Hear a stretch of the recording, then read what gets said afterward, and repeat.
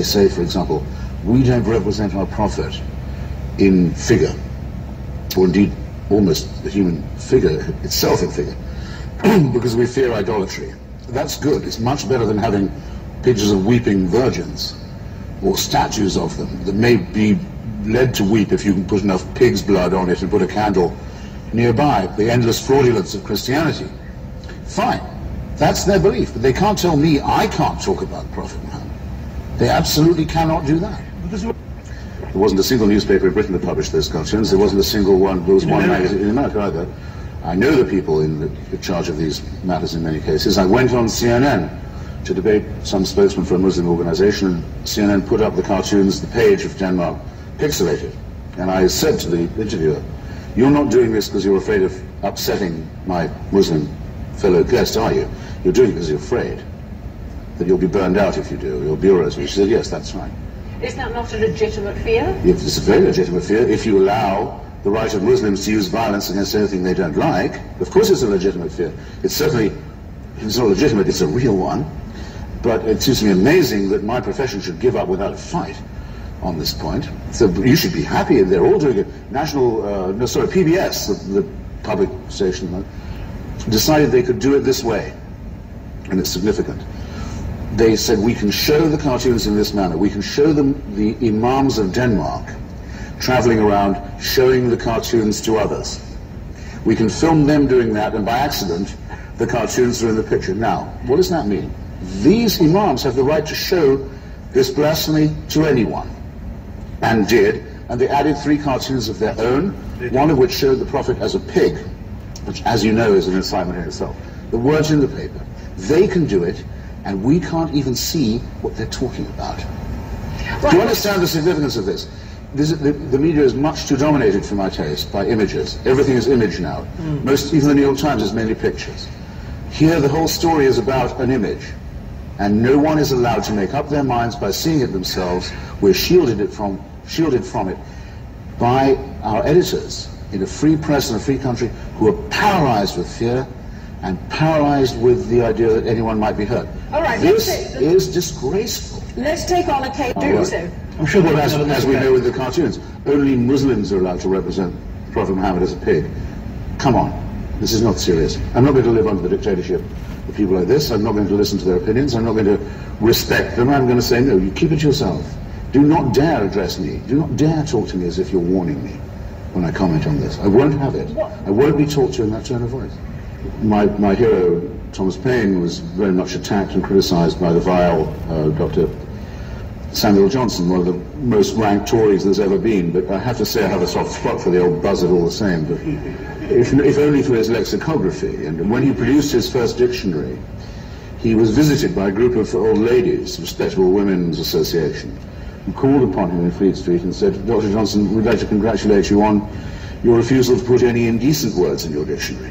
and he said, ladies, I'm very uh, obliged to you for revealing to me that you've been looking for them. uh, that simple story is actually all you need about the censorship mentality. Those who want to be offended will always find something. There's no way of forestalling that.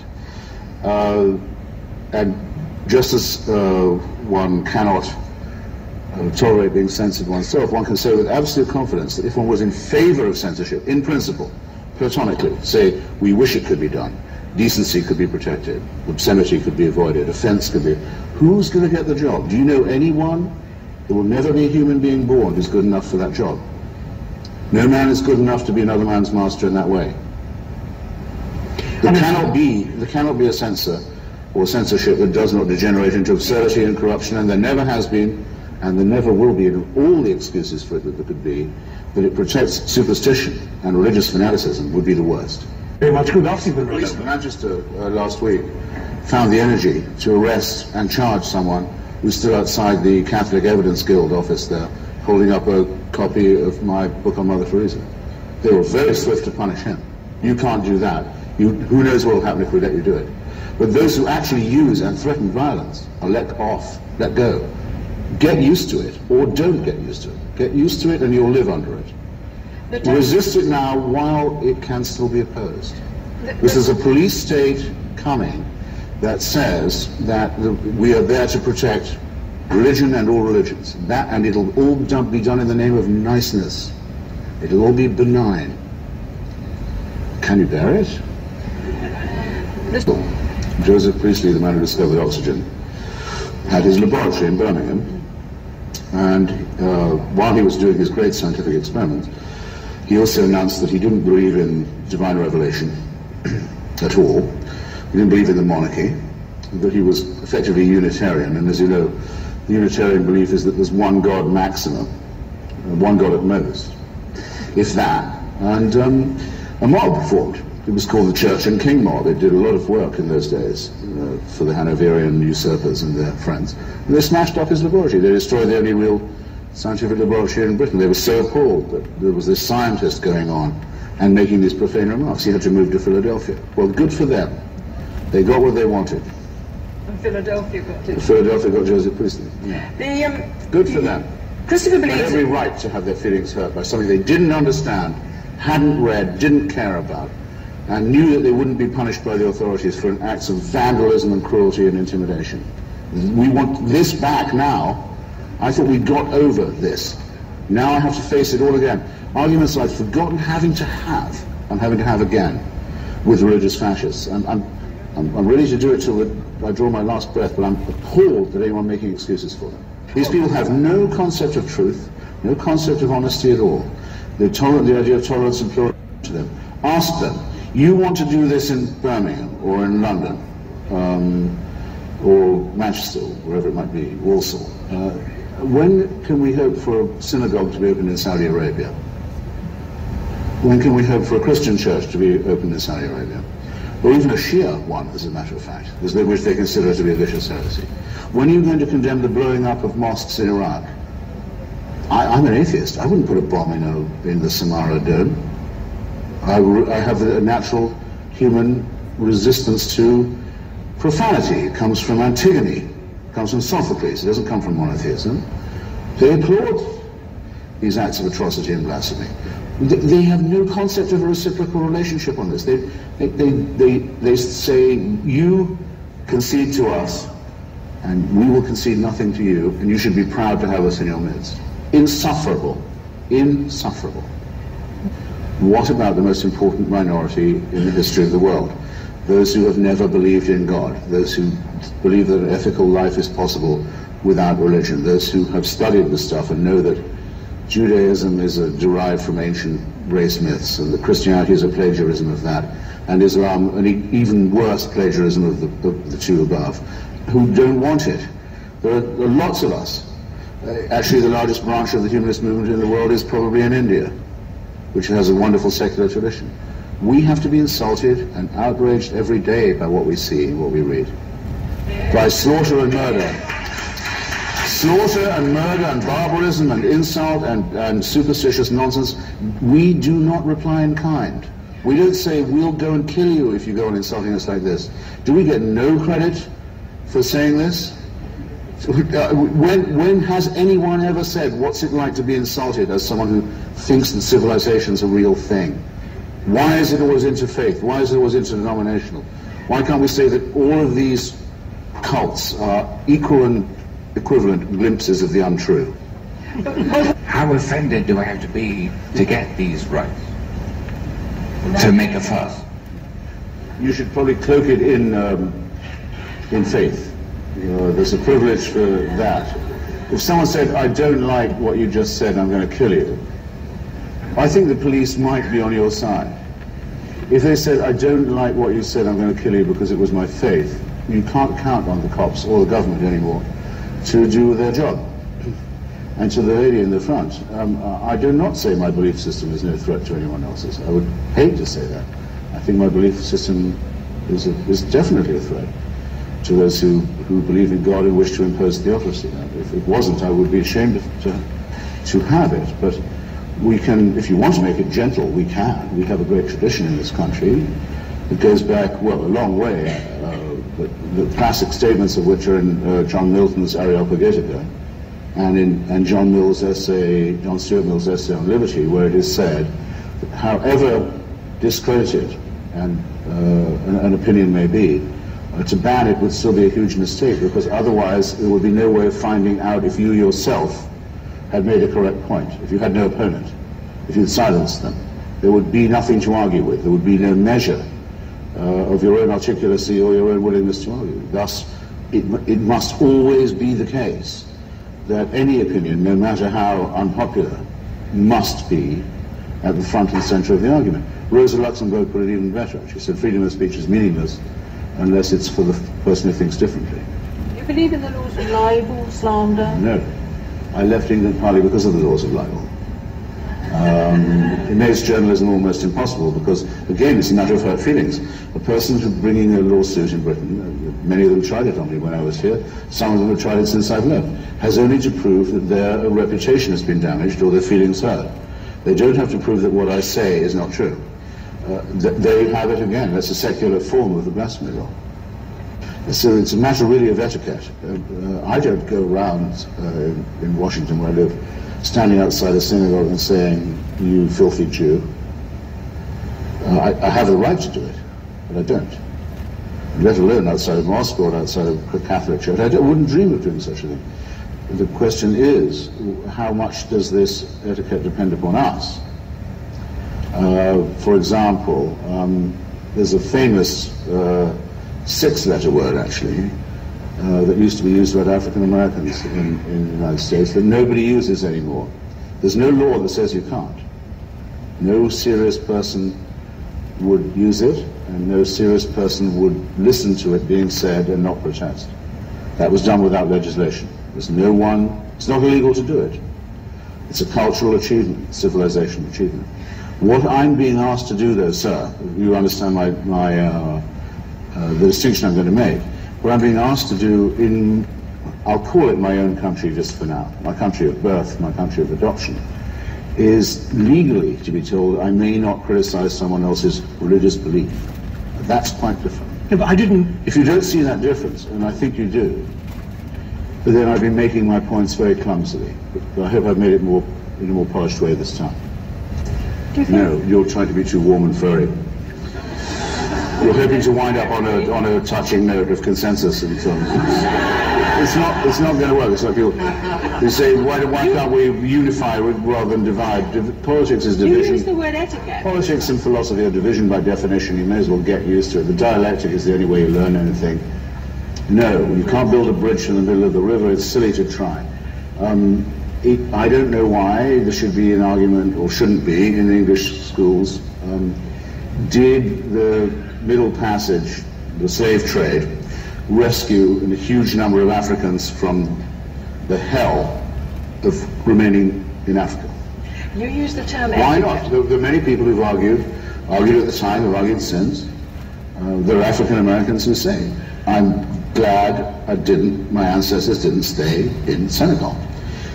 People think, oh God, how can you possibly say that? After what the Middle Passage was like. Well, I can have just, have just, in fact, possibly said it. If you won't do that at thought experiment, you're not thinking seriously about how the argument went on. There can be no taboos, and especially there can be no taboos enforced by one community on another. You can't mention this because it upsets us. No. Teaching of history is impossible. Teaching of philosophy is impossible. Teaching of argument, how to debate is impossible. How can you teach the Burke-Paine debate? or the debate between Wilberforce and Huxley about evolution without upsetting somebody. History, but I seem to remember in freedom of speech there's something about inciting violence. And I'm kind of curious as to why no one's mentioned George Galloway saying that Tony Blair should be the subject of suicide bombers. Is it just too absurd? or otherwise unworthy? There is a fighting words uh, exemption in, uh, in some American jurisprudence about the First Amendment, and that's actually what Oliver Wendell Holmes was talking about. There's a time when a word is a weapon when you're in fighting a fight and so forth. Um, on the whole, that's been struck down. There hasn't been a speech prosecution in America uh, since 1967-8. Uh, and Mr. Galloway clearly did not call for the um, murder of the Prime Minister uh, because he hasn't got enough guts to do that. He says, uh, I would like it if it happened, but I'm not calling for it. In other words, if it does happen, don't look at me, but I did pre-approve it. You, you said you said it had would have a moral justification in his spectrum of Yeah, well, yes, he, he went, he said it would be a good Didn't thing, but he, would, but he did not, he, he recovered in time to say, well, I'm, of course I'm not recommending so. So if it happens, all we can say is that Galloway pre-approved it so that he's a, a coward, as I know him to be. A complete coward, moral coward, political coward, as well as a pimp for and a prostitute of Saddam Hussein and many other dictators. There's, Aneurin Bevan used to say about the British press, there's no need for a censor because there's no need to muzzle sheep. Um, of George Galloway, you can say a person like that, who's a prostitute for fascism, convicts himself. But it was very interesting to see how unbrave he was, as well as how demagogic. An absolutely perfect combination of uh, scumbaggery uh, combined and doubled, and double distilled. A religion is made out of man. It's the religious impulse itself that I think we need to oppose, to criticize, to criticize in ourselves as well as in others. The argument from faith, in other words, the argument from certainty.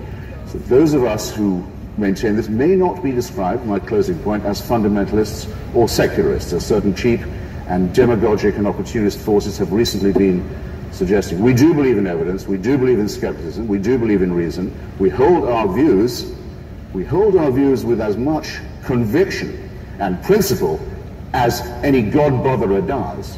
But we are open to the argument and we're going to prove it tonight to you.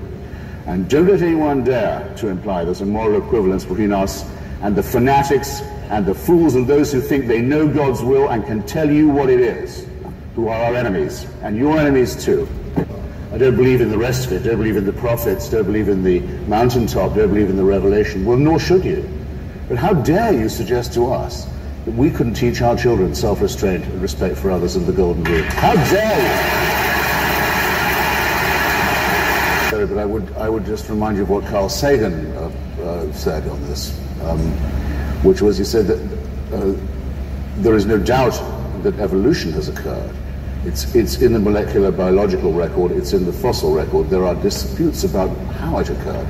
The Darwinian theory is only the original one of how that might have, have taken place. And Darwin himself set out as an original taxonomist in order to prove the truth of Christianity. Uh, just as Sir Isaac Newton believed in alchemy and Joseph Priestley, the discoverer of oxygen, believed in the phlogiston theory.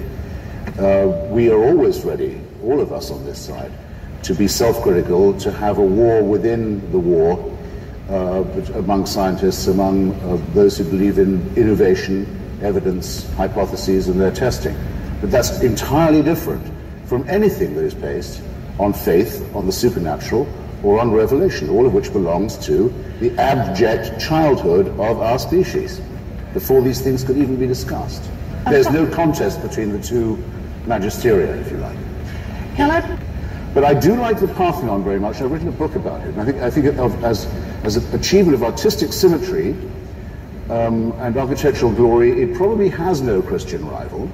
But I believe that I can. In fact, I know I can. I'm sure I'm not the only one who has been there and said and appreciated and loved it without having to subscribe to the superstitions of the Eleusinian mysteries, to the cult of Athena and Zeus, to the Melian expedition and the Peloponnesian War, to slavery and Athenian imperialism, and to human sacrifice. We can have our Parthenon, and we can indeed recover it from what was done to it by Byzantine Ottomans, by Venetian Catholics, uh, by National Socialist barbarians, and many others. We can still have it. It's our common property without the superstitions that go with it, without the dread and fear and sacrifice, the, the terrified, cringing humanity that was so much sheltered uh, under the walls as it was being raised. And the word for that, the ability to have these things, to have John Milton's poetry, uh, to have Philip Larkin's uh, poem Church Going, to have uh, Shakespeare, to, without the superstition, is called culture, on which we've all laid our lives, on which we've all sworn to defend ourselves and our civilization against, especially now, precisely against religious barbarism, against those who know they are right, against those who say they only need one book, against those who say they know God's on their side, against those who say there's a revelation. That's what culture is, that's what we're defending. Yes, we'd be better off with culture, and yes, we can have it without religion, which is a mind forged miracle. Thanks. Thank you.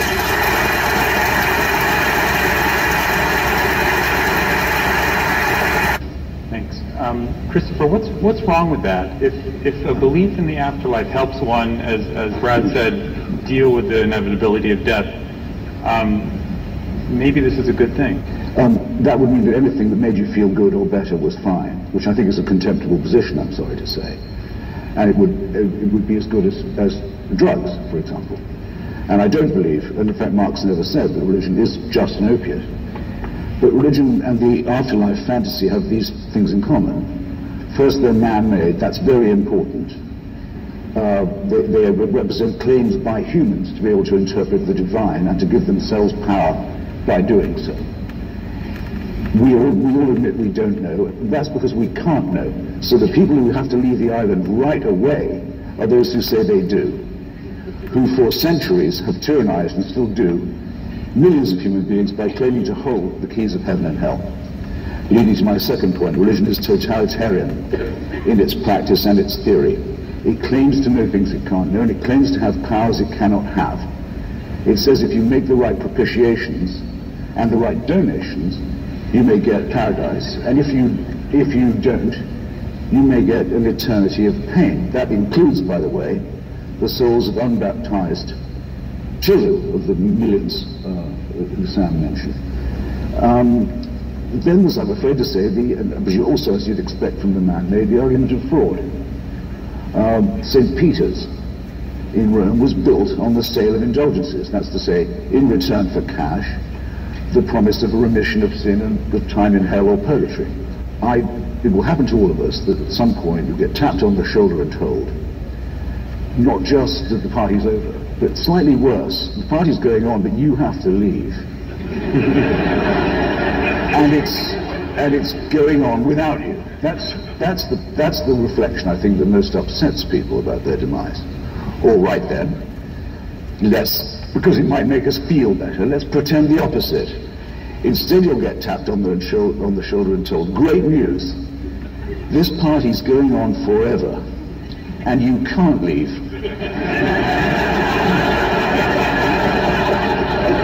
you, you've got to stay.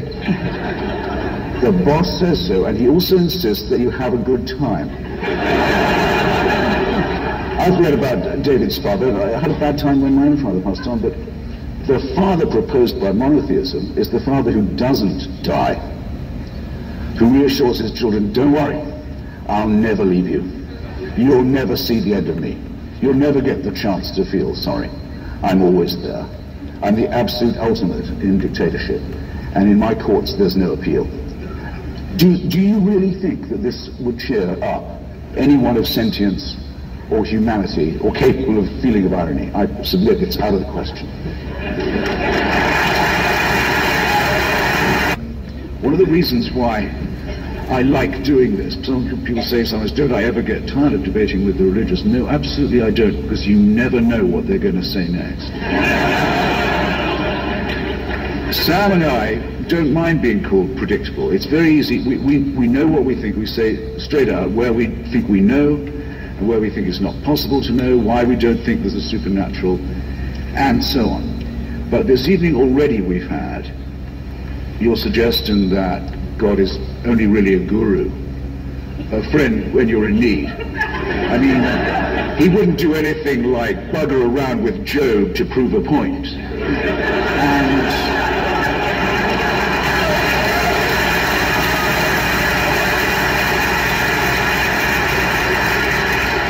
Which, if I now tell you, well, that must mean that that book is not the Word of God, you'd say, well, whoever believed that ever, that ever was the Word of God? Let me just tell you something. For hundreds and thousands of years, this kind of discussion would have been in most places impossible to have, or Sam and I would have been having it at the risk of our lives. Religion now comes to us in this smiley face, ingratiating way, because it's had to give so much ground, and because we know so much more. But you've no right to forget the way it behaved when it was strong, and when it really did believe that it had God on its side. Saying that, saying that, that, that, that it's those of us who doubt the supernatural who have the failure of imagination. and good move. But, but there's no one who can't play this game. There could be an afterlife and no God. Why not? There could be many gods and no afterlife.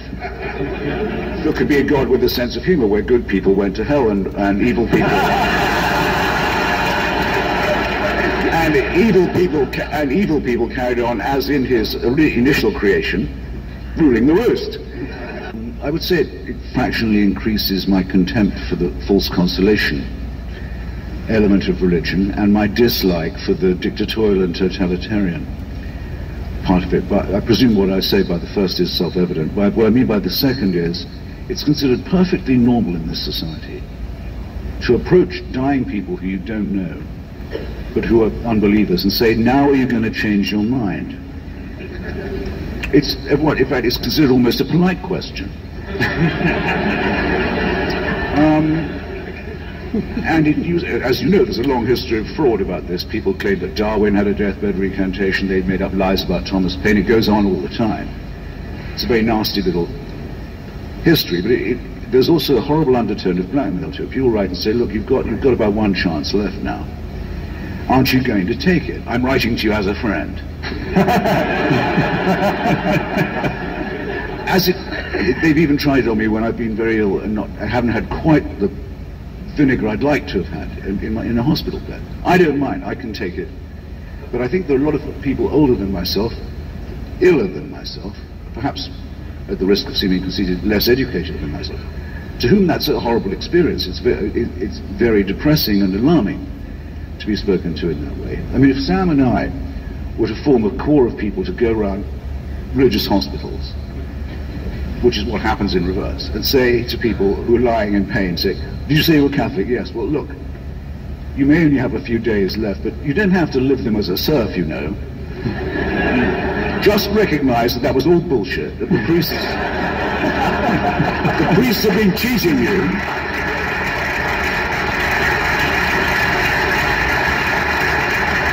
And I guarantee you'll feel better. I don't think that would be very ethical.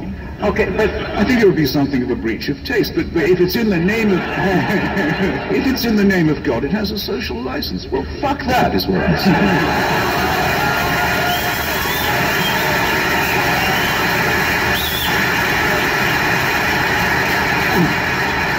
and and will say if it's my last breath. Thank you. In other words, in these books, there are the warrants for genocide, for slavery, uh, for the torture of children, uh, for disobedience, uh, for genital mutilation, for annexation, for rape, and all the rest of it. But it's a very good thing that this is man-made. There are those who say that they wish they could believe, and I suppose a decent atheist could say that if only for lack of evidence he wishes he or she could. I can't be among their number. I'm very glad it is not true that there is a permanent, unshakable, unchallengeable celestial supervision. A divine North Korea in which no privacy, no liberty is possible from the moment of conception, not just till the moment of death, but until well after. I've been to North Korea and now I know what a prayerful state would look like. I know what it would be like to praise God from dawn till dusk. I've seen it happen. And it's the most disgusting and depressing and pointless and soulless thing you can picture. But at least with North Korea, you can die and you can leave.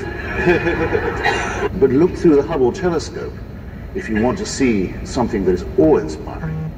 Don't look to blood-stained old myths. Now, why now? Why am I doing this now? People ask. Well, I'll tell you why now. Because in the last few years, it's become impossible to turn a page of a newspaper without being, as the religious would say, offended.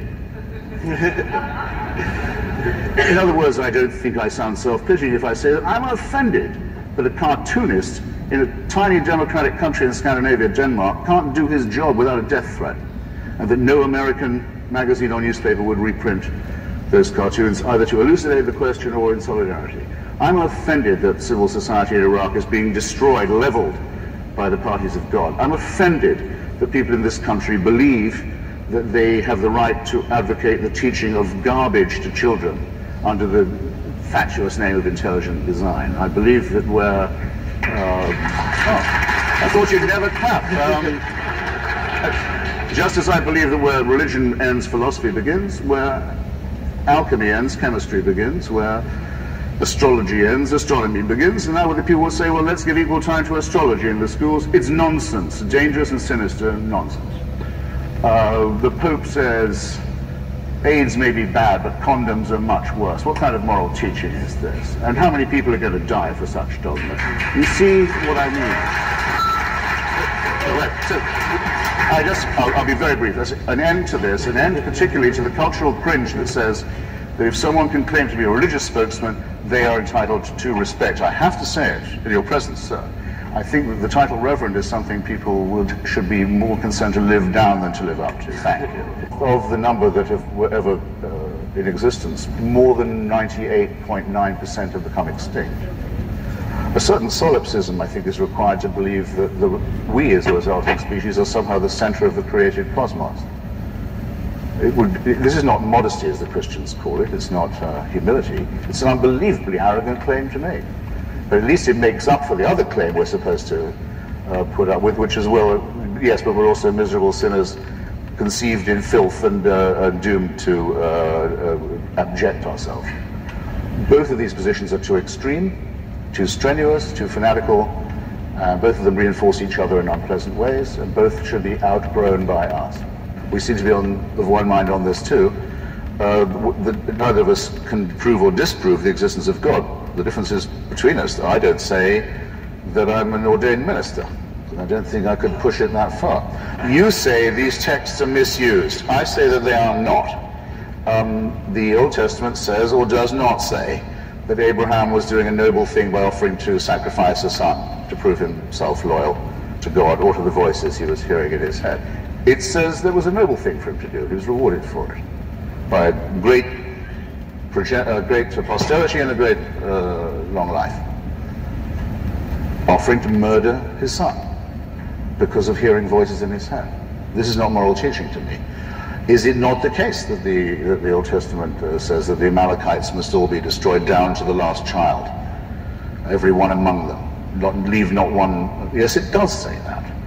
The Bishop of Llandaff, in an argument with Thomas Paine, once said, well, when it says keep the women, as Paine had pointed out, he said, I'm sure God didn't mean just to keep them for immoral purposes. But what does the Bishop of Llandaff know about that? He says, kill all the men, kill all the children, and keep the virgins. I think I know what they had in mind. I don't think it's moral teaching. to this day, there are nutbag settlers, uh, some Israeli citizens, some of them Americans, some of them Israeli Americans, trying to settle the West Bank in the name of this prophecy and throw other people off.